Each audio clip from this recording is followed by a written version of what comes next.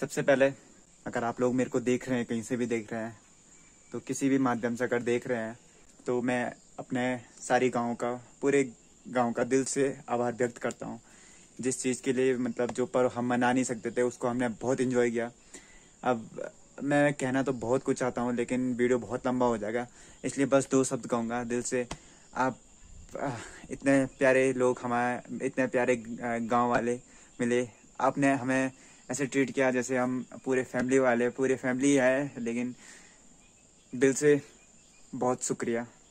आपकी ज़िंदगी में भी हरियाली पर, जैसे आज हरियाला पर्व हमने सेलिब्रेट किया, आपकी ज़िंदगी में ऐसी बाहर आई हरियाली के, दिल से शुक्रिया।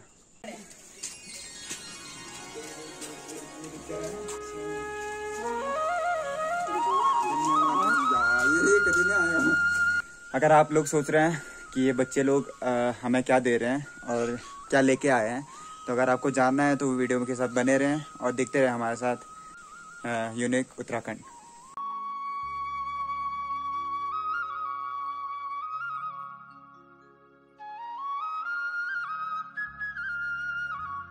हेलो हाय नमस्ते everyone and welcome back to our another blog मेरा नाम है मयंक नेगी और स्वागत करता हूँ आपका उत्तराखंड के इन खूबसूरत पहाड़ों से। तो सबसे पहले मैं आपको हर हरेला पर्व की बहुत बहुत शुभकामनाएँ देना चाहूँगा। इसके बारे में बताऊँगा आपको हरेला पर्व होता क्या है। लेकिन आपको पता होगा हिंदू पंचांग के अनुसार आज हम आषाढ़ महीने से और श्रावण महीने के लिए श्रावण आज आषाढ़ का महीना ख़त्म हो गया और श्रावण का महीना लग, लग गया है। तो उसके लिए एक पर्व होता है हरेला पर्व। अब हम लोग हरियाली हरेला पर्व क्यों मनाते हैं? तो इसके पीछे अगर साइंटिफिक रीज़न देखें तो साइंटिफिक रीज़न से ये होता है कि जो पेड़ पौधे बेजान पड़ जाते हैं रूखे सूखे पड़ जाते हैं तो उनको जब श्रावण के मास बरसात का टाइम होता है तो बरसात की पानी मिलता है तो वो फिर से खिल जाते हैं। तो हरे भरे हो जाते हैं पेड़ पौधे और खेतों में जो खेत बिल्कुल सूखे पड़ जाते हैं बिना पानी के तो वो भी खिल से जाते हैं, हरियाली आ जाती है। तो इसी के कारण उसको हरीला पर्व किया जाता है मतलब हमारे चारों ओर हरियाली हो और घरों में शांति हो और इसके लिए हम लोग पूजा भी करते हैं। तो पूजा इसलिए करते हैं कि सबके घर में शांति बने रहे। कई कई जगह लोग तो हरियाली मतलब जैसे आज आषाढ़ का महीना ख़त्म होने वाला तो उससे पहले, आठ दिन पहले हरियाली बो देते हैं। हरियाली मतलब जो धान वगैरह और मंडुए के मंडुए के मतलब बहुत से सारे बीज बो देते हैं एक तस्तरी में और उसको उगाते हैं, फिर नौवे दिन इसकी गुडाई करके और उसको काटते हैं। तो ये भी ये भी होता है। लेकिन हम लोग पूजा करते हैं। बहुत सी जगह पूजा भी करते हैं। अभी त्रियोगी नारायण एक गाँव है तो वहाँ हरेला पर्व का एक बहुत बड़ा विशाल मेला लगता है। तो ऐसा कुछ होता है हरियाल, हरेला पर्व में।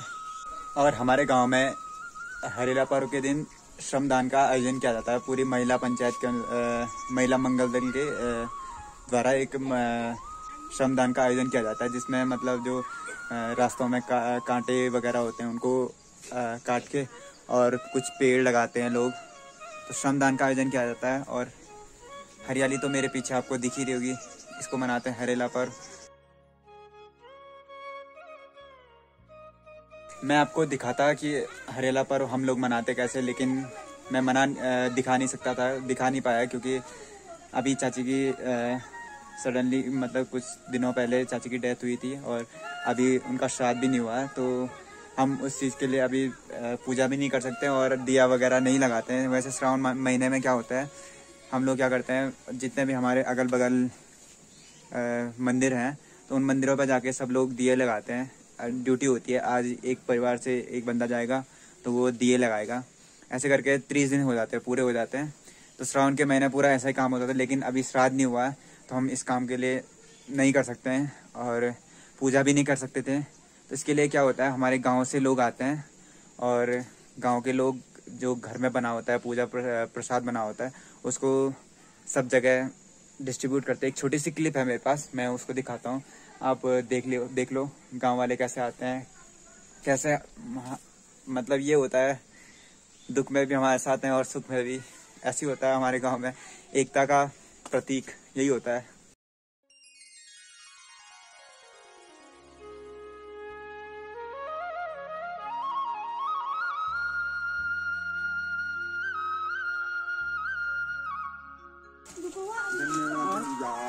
नहीं आया हूँ मो ये पहुँची नहीं पता नहीं तेरी जगतियाँ कर अच्छा तो दो बुलाए क्या बोला माँ की दीदी हो अच्छा हाँ तो हो जाएँगे eh.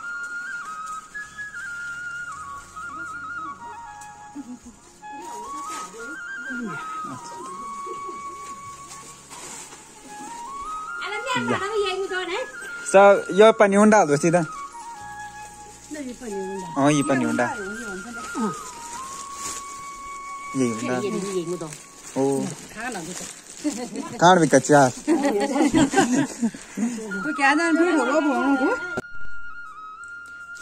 तो देखो इतना प्रसाद हुआ आज इसमें भी है इसके अंदर भी है और इसके अंदर भी है। कुछ तो खा भी दिया है। इतना शायद हम बना भी नहीं पाते और एक थैला यहाँ भी है?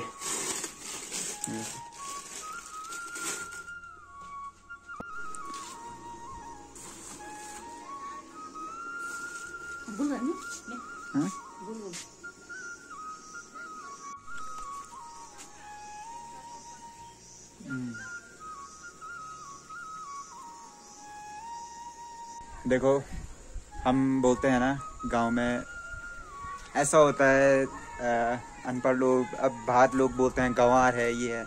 लेकिन इतनी पॉजिटिव वाइब्स आ रही है ना अंदर से। मतलब लोग कहाँ का कितनी कितनी दूर से अपना काम छोड़ के आ रहे हैं और एक प्रसाद देने के लिए। सही बता रहा हूँ। इसलिए बोलते हैं, उत्तराखंड तो एक तो देवभूमि, उत्तराखंड तो है ही, और गाँव उससे भी सुंदर। ऐसी रिवाज रीति रिवाज ही तो बोल सकते हैं। इतने अच्छे से लोग मनाते हैं। अब ऐसा नहीं है अब हम नहीं बना सकते थे उसके लिए लोग आ रहे हैं और हमें दे रहे हैं। तो इससे अच्छी बात क्या हो सकती है?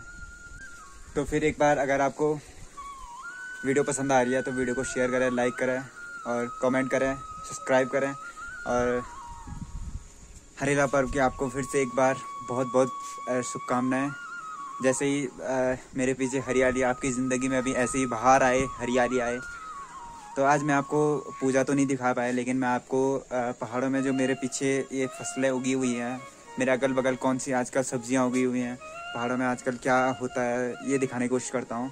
अगर वीडियो पसंद आती है तो आपको ले- क्या करना है वो आपको पता है, लाइक, शेयर, कमेंट ज़रूर करें। तो सबसे पहले मैं यहीं से स्टार्ट करता हूँ, अपने ही खेत से, अपने बगल के खेत से। ये आलू काफ़ी निकाल दिया हमने यहाँ से। ये देखो, इनमें आलू और के इस साइड से तो नहीं दिखा ऊपर निकाल रखा है मम्मी ने, वहाँ दिखाता हूँ। कहाँ है आलू? आलू। एक तो निकाल ही देता हूँ मैं। पहाड़ी आलू। ये देखो। एक ही निकला। और होंगे शायद, मम्मी ने तो काफ़ी निकाल दिया यहाँ से। ये देखो, इसके कारण वो सूख भी गई है। ये कुछ पत्ते सूख गए हैं, निकाल दिया है ना। पहाड़ी आलू के बाद ये है टमाटर। इधर एक पड़ा होता है ये। टमाटर भी गरीब हो जाता है, अभी छोटे हैं ये। फिर ये थोड़ा बड़े हो जाएँगे तो अभी लाल नहीं होते ये। ऐसे हरे हरे में खा लेते हैं इनको। ये है टमाटर। फिर थोड़ा आगे चलते हैं। तो ये है सामने मक्के। मक्के की खेती हो रही है। ये मक्के आपने देखा जब मैं फ़र्स्ट फ़र्स्ट ब्लॉगिंग स्टार्ट करी थी, तब बोए थे मम्मी ने ये। और अभी देखो, इतने बड़े हो गए। लेकिन जितना ये ज़्यादा हो रहे हैं, उतने नुकसान भी हो रहा है इनका। यहाँ देखो, बंदरों ने इनका क्या हाल कर दिया। सुबह बंदर आए, कुत्ता तो घर पे था नहीं। उन्होंने ऐसे कर दिया इससे देखते हैं कितने, इतने हो के। देखो, अभी छोटे छोटे बीज और के इनके। अभी ढंग से हुए भी नहीं और बंदर ने खाना स्टार्ट कर दिया इनको। हमारे खेत में तो यही था। तो सुबह के टाइम थोड़ा मैं सो गया था। आ, उसके बाद अभी उठ रहा हूँ शाम के तीन साढ़े तीन हो रहा है अभी। तो अभी मैं कहा था सुबह मैंने आपको आलू भी दिखा दिए थे और मक्के की खेती दिखा दी थी और अब मैं दिखाऊँगा आपको। ये है कद्दू की बेल। यहाँ तक चली यहाँ तक तो चली गई है। अब शायद लगना स्टार्ट हो जाएँगे कुछ टाइम बाद इन पे एक एक मंथ बाद इन पर कद्दू लग जाएँगे। ये शायद मम्मी ने बहुत लेट बोए थे। इसलिए थोड़ा सा अभी छोटे हैं, जो बड़े वाले मतलब जो तैयार हो गए, उन पर फूल भी लग गए हैं। वो गौशाला में है। अब वहाँ थोड़ा सा जाऊँगा मैं कुछ टाइम बाद। अभी धूप में कहाँ जाऊँगा इतनी तेज़ धूप हो रही है, यहाँ देखो। हाँ हाँ मौसम भी बढ़िया है यार। एकदम से पड़ गई मेरी नज़र।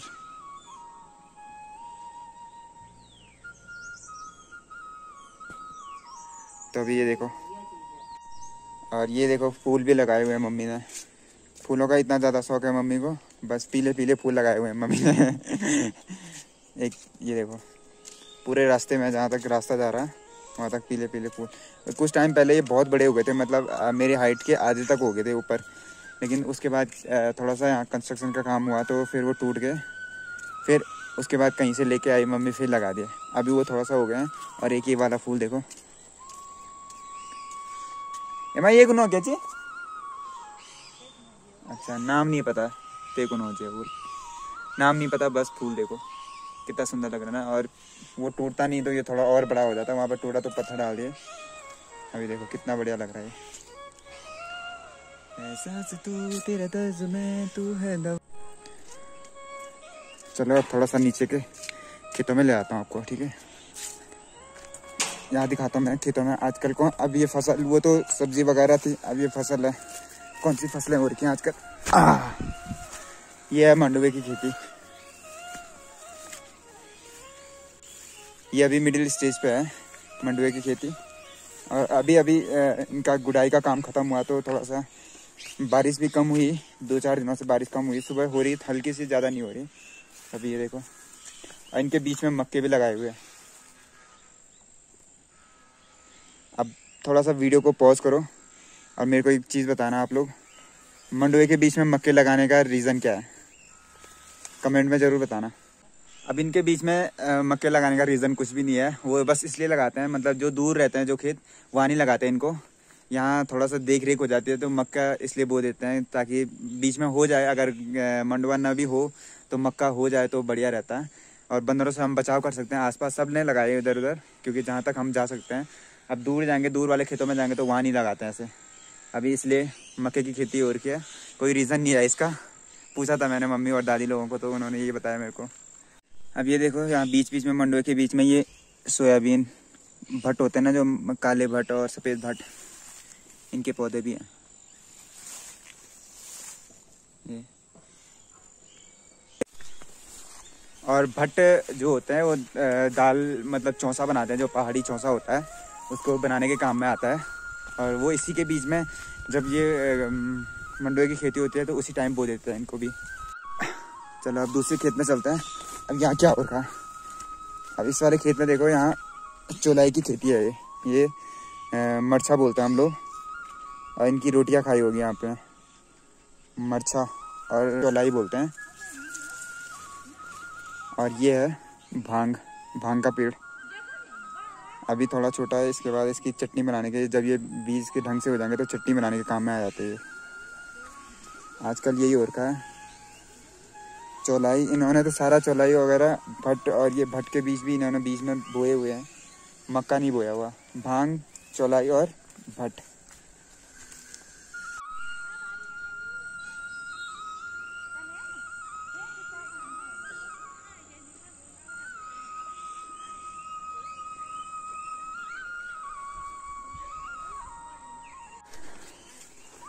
अब चलते हैं, फिर ऊपर। एक खेत से दूसरे खेत दूसरे खेत से फिर इस वाले खेत में। और अब यहाँ पे जो लगाई हुई है, ये पूरी खेती, ये मक्का है और यहाँ पे मिर्ची। ये है मिर्ची की। अभी ये छोटी है, ये अभी दो महीने हो रहे इसको लगाए हुए। अब इसके तेज़ी से ग्रोथ होगी इसकी भी। जैसे बरसात का टाइम स्टार्ट होगा तो बढ़िया, क्योंकि मिर्ची को बहुत पानी चाहिए होता है। तेज़ी से होएगा इसके बाद। और ये देखो ये है अ, ककड़ी ककड़ी की बेली जा रही। यहाँ पर तक चली गई ककड़ी की बेल। अब जो ये लगाया हुआ है ये सपोर्ट के लिए लगाया हुआ ताकि ये चढ़े ऊपर क्योंकि बेल जो होती है बेल ऊपर चढ़ती रहती हैं तो अगर ज़मीन पर छोड़ देंगे तो ख़राब हो जाएँगे तो ऊपर चढ़ाने के लिए इनका सपोर्ट लेते हैं। ये वाला मिर्ची का पौधा जल्दी ही ग्रो कर गया, देखो। इस पर छोटी छोटी मिर्च भी लग गई। देखो। ये पता नहीं कैसे हो गया इतनी जल्दी। शायद मेरे को लग रहा है ये पुराना होगा, बच गया होगा बीच में। साइड पे तो इसलिए इस पर देखो ये कितनी बड़ी लगी हुई है यहाँ पे। खाने के लिए हो गई मिर्च। जबकि इसके छोटे भाई अभी हो रहे हैं, अभी ऊपर को आ रहे हैं, लेकिन ये तो चढ़ गई ऊपर। तो चलो अब यहाँ से भी चलते हैं ऊपर। अब ये टमाटर के ये टमाटर के पेड़ हैं, ये वाले, और ऊपर ये है सोयाबीन, राजमा की दाल। अब राजमा ऐसे लगता है। ये देखो, इस पर लग भी गई, फलियाँ लग गई इस पर, ये वाली। अभी कच्ची हैं वो भी, ये भी हो जाएँगे थोड़े कुछ टाइम बाद। ये देखो, दो दो टाइप की होती हैं ये राजमा की दाल। एक तो रेड कलर की होती है ये वाली, और एक ग्रीन कलर की। और इनको भी सपोर्ट की ज़रूरत होती है, इसलिए इनके बीच में भी ऐसे लगा देते हैं लकड़ी लगा देते हैं बीच में। अब ये वाले खेत में देखिए, इसमें ये पेड़, ये वाले जो हैं, बैंगन के पेड़ हैं ये, और ये मिर्ची, इसमें तो बड़ी हो रखी है मिर्ची। उधर तक पूरी मिर्ची जा रखी है। और ये बैंगन के पेड़। कब, बट अभी हुए हैं क्या लेके आओ? हाँ बैंगन ले जाते पापा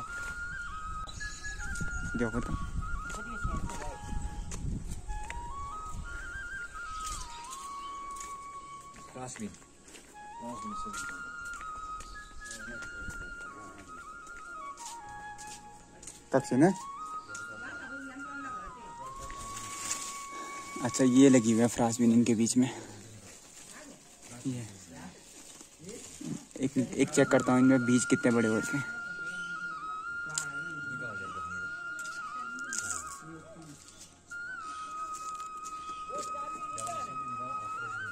अभी देखो छोटे छोटे बीज हैं इन पे भी।